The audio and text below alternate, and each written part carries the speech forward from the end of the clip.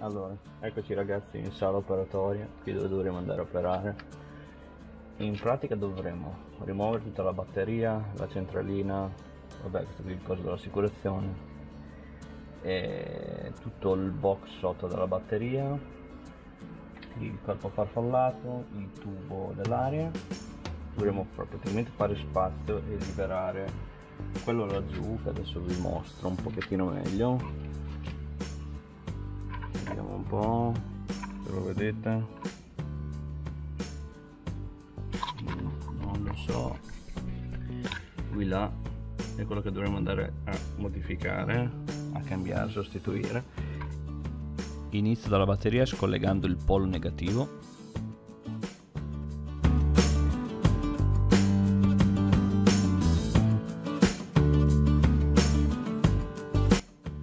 con la batteria scollegata posso rimuovere la centralina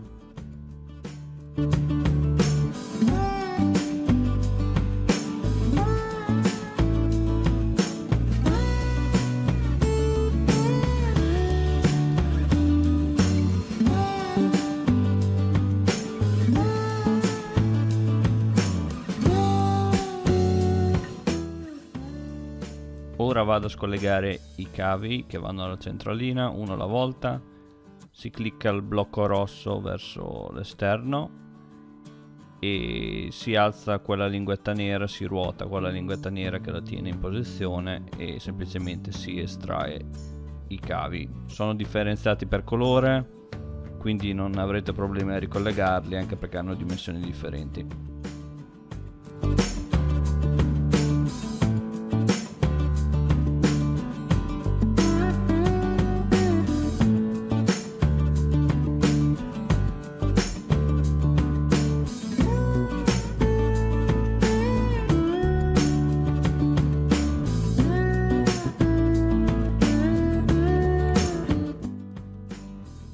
centralina rimossa non rimane altro che levare ora anche il lato positivo, i collegamenti positivi alla batteria.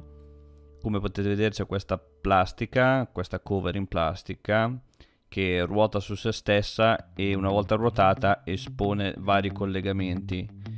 Dovrete svitarli, sono tre i collegamenti oltre al polo positivo, dovete scollegare tutto e una volta scollegata avrete la possibilità di alzare questa cover in plastica e ruotarla di lato in modo che non disturbi le vostre operazioni.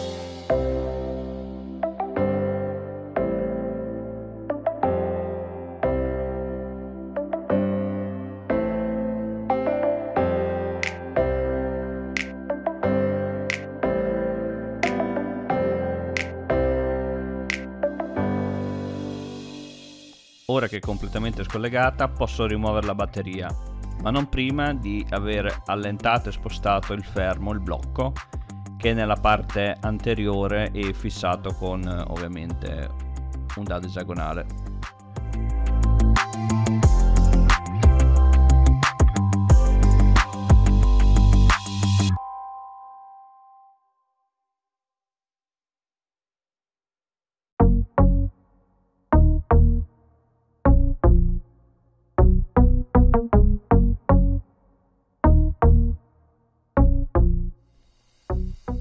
Batteria rimossa possiamo vedere dove è collegato il supporto della batteria al telaio con tre punti di fissaggio che dovremo andare a svitare per completamente rimuovere appunto il supporto in plastica.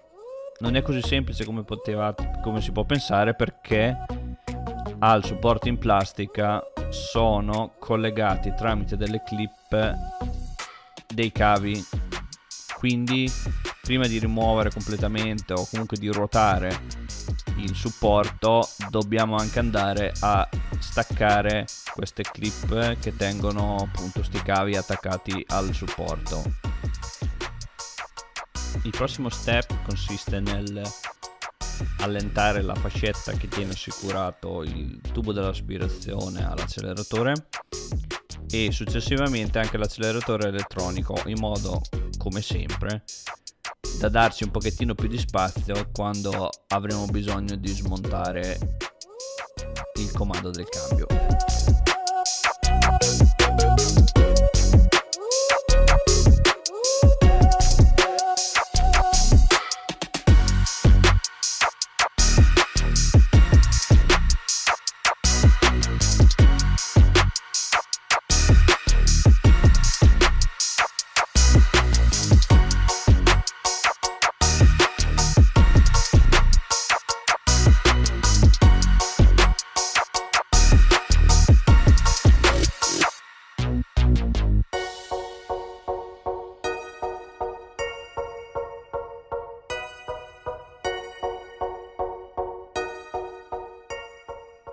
Finalmente possiamo vedere il selettore del cambio e le due viti, una un po' meno, quella sul retro si vede poco nulla, ma comunque le due viti che tengono, lo tengono ancorato al cambio.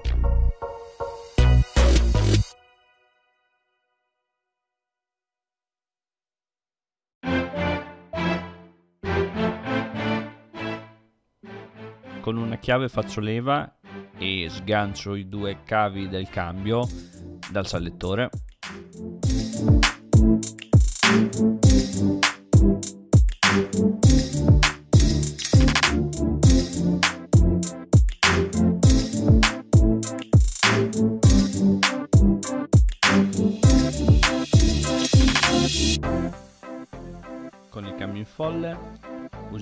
vite forniteci nel kit per bloccarla in posizione e dato che ci siamo rimuoviamo anche proprio lì sotto la vite Torx che fissa il meccanismo il tubo di lubrificazione al cambio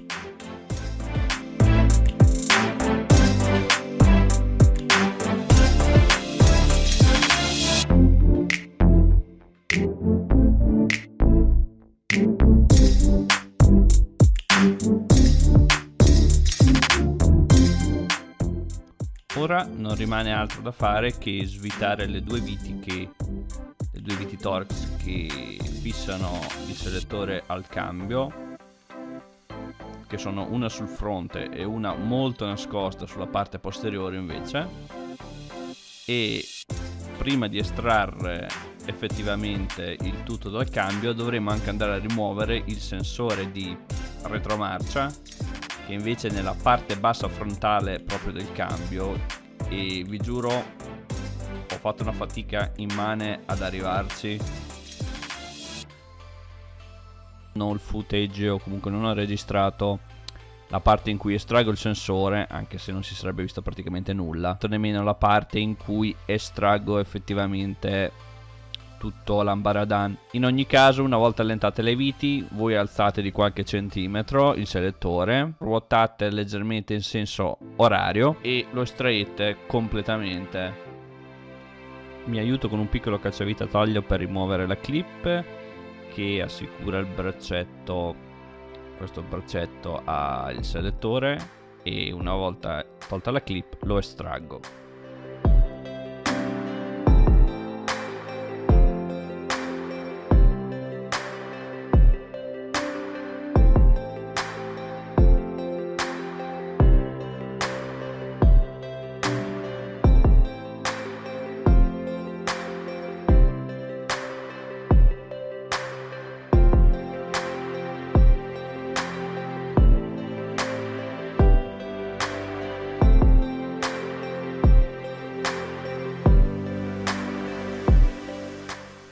Ora non resta che rimuovere questi due cappellini in alluminio che trapaneremo via e ci mostreranno infine la sicura che tiene tutto il blocco in posizione. Balza in avanti temporale di 40 minuti. Seguendo le istruzioni il perno non saltava assolutamente via quindi con martello e picchetto quello che volete ho dovuto quindi utilizzare il trapano per eh, trapanare via l'anima di questo perno in modo da ridurre la sua resistenza e una volta fatto dopo appunto 40 fottuti minuti sono riuscito a farlo saltare via con il buon caro martello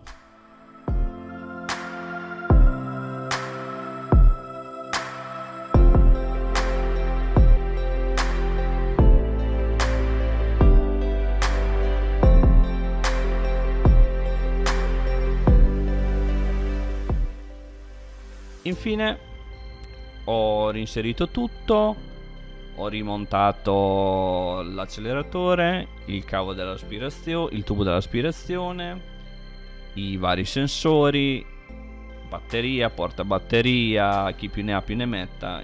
In poche parole fate tutto l'opposto di quello che avete prima, che avete fatto prima e vi ritroverete finalmente con tutto rimontato e con questo bellissimo affare rosso che spunta dal profondo del vostro motore. Fa un bello sfoggio di sé, è molto bellino da vedere e speriamo sia anche efficace. Allora ragazzoni, short shifter montato, questa più o meno è l'escursione precedente con il cambio normale andiamo un attimino a spostare la staggia qui vabbè questo è tutto va bene ok quella più o meno è la prima. Andiamo a segnare la seconda ora. Abbiamo segnato anche la seconda. Dopo vi faccio una breve misur misurazione reale in millimetri per capire quanto effettivamente è cambiato il lancio. Così, comunque già a occhio si vede che è una buona è comunque una buona riduzione ed ecco i risultati. Per tutti i fanatici dei numeri diamo una breve misurata così ci rendiamo un attimino conto di quanto effettivamente è questa riduzione. Allora, i segni neri sono prima del, dell'avvento dello short shift e il segno rosso invece sono quelli misurati come avete visto prima con lo short shift innestato. Allora diamo un'occhiata all'incirca all'incirca abbiamo un 55 mm idem sia in prima che in seconda. Quindi in totale abbiamo un 11, 11 cm poco meno tra prima e seconda. Diamo invece un attimino un'occhiata. Adesso i segni non sono precisissimi ma in ogni caso non è che possa sbagliare di tantissimo. A occhio dopo lo short con l'installazione dello short shift abbiamo all'incirca 38 39 facciamo 40 dai per stare più al sicuro sul lato del sicuro. In basso all'incirca siamo sempre sui 40 poco più poco meno. Quindi diciamo che all'incirca da 55 mm siamo passati a 40 quindi abbiamo tolto esattamente una quindicina di millimetri che loro dicevano circa un terzo un terzo su 55 sì forse qualcosina dovrebbe essere qualcosina in più forse di 15 non lo so adesso non riesco a fare il calcolo a mente ma più o meno direi che ci siamo. È stato rispettato questo dato. E in pratica passiamo da 11 cm totali poco meno a 7.8 7.9 facciamo 8 dai. Passiamo a 8 cm invece tra prima e seconda che direi è un ottimo dato. Soprattutto dopo aver provato la macchina all'incirca ho fatto qualcosa come 200 km dopo aver rimontato tutto. Mi sono fatto un bel giretto in modo da riprovare che tutto funzionasse, tutto il reparto diciamo elettronico perché ho smontato batterie e qualunque altra cosa attaccata lì. Quindi ho montato tutto, ho rismontato tutto, mi sono fatto i miei 200 km salutate Oliver, ciao bello. E direi che magari non vi fa guadagnare troppo negli 0-100 nel senso non aspettatevi dei risultati clamorosi sotto quel punto di vista. Più che altro il vantaggio è il feeling, il feeling che ha la manopola del cambio adesso è molto più, adesso mi viene il termine italiano, in inglese direi crispy.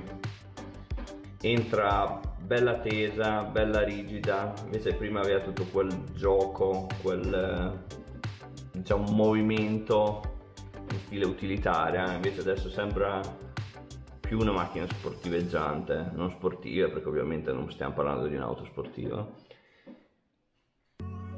E il piacere di guida l'ha guadagnato tantissimo perché comunque le marce entrano un po' meglio, sono più rapide e fanno anche, anche la leva del cambio ha un rumore, sentite un rumore un pochettino più meccanico rispetto a prima, più accentuato e devo dire che è stato un bel acquisto io l'ho pagata sui 150 euro e penso che con 150 euro non ci siano altre modifiche da fare sulla propria auto o in questo caso sulla Corsa GSI che possano darvi tutto questo vantaggio, tutto questo come dire questo piacere di guida in più insomma per 150 euro ovviamente. Direi per concludere soprattutto visto che immagino siamo quasi tutti uomini sul canale è la prima volta che più è corto meglio è.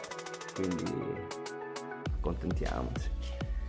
Niente ragazzi ci si becca al prossimo video che probabilmente sarà pulizia interni perché la mia corsa di 6 ha bisogno di una pulizia interna. L'ultima volta abbiamo fatto la pulizia esterna questa volta faremo pulizia interna e che altro? Ah, ci sono i sedili in pelle da pulire con tutti i prodottini vari e successivamente vedremo probabilmente qualcosina di estetico ho già visto un sottopara urti in stile PC da buttare su verniciare ovviamente da verniciare da provare da scartare vetrare da sistemare che secondo me potrebbe regalare un bel aspetto alla macchina e dargli un pochettino uno stacco rispetto alla vernice tutta arancione e potrebbe giovarne